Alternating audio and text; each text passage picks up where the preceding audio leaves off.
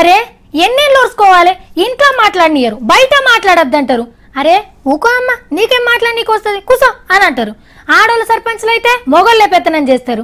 అసలు ఎన్నేళ్ళు ఇంకెన్నేళ్ళు ఊకో ఊకో లేదంటే కూకో కూకో అంటారు. ఎప్పటికింతేనా మేము? చల్ ఇక నడవది. ఆ ముంగడికి నడిచింది ఒక అక్క. ఒక్కొక్కరిని గర్జన వణికిచ్చింది మళ్ళా. అక్క ఆడోళ్ళందరి తరపున నీకు పెద్ద దండం.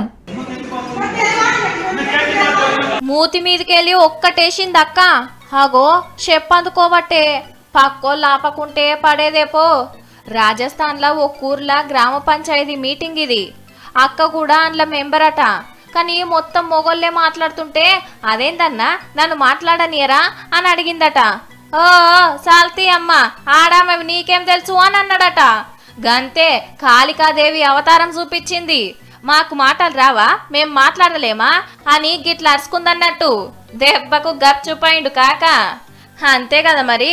వార్డు మెంబర్ అక్కలు సర్పంచ్ అక్కలు ఎంపీటీసీ అక్కలు జెడ్పీటీసీ అక్కలు అందరు కూడా ఈ అక్కను ఫాలో అయ్యి మన పనితనం ఏందో చూపిండ్రిగా